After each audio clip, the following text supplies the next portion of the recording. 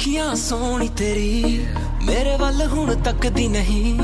ਮੇਰੇ ਕੋਲ ਤੇ ਆ ਜ਼ਰਾ ਹੱਸ ਕੇ ਦਿਖਾ। ਇੰਜ ਨਾ ਕਰਨੀ। ਅੱਜ ਕਰ ਲੈ ਵਾਦਾ ਪਹਿਲਾਂ ਲੱਗੇ ਤੇ ਪਰਾਡਾ, ਨਹੀਂ ਤਾਂ ਦੂਰੋਂ ਦੂਰੋਂ, ਨਹੀਂ ਤਾਂ ਦੂਰੋਂ ਦੂਰੋਂ ਤੱਕਦਾ ਰਹੀ। ਮੈਂ ਹੋਰ ਕੋਈ ਲੱਭ